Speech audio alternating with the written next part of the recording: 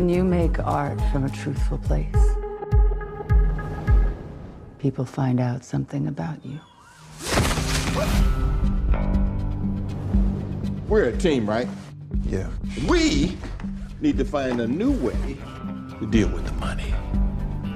Customer of mine was short of cash. Gave me that instead. And where's she at? The city.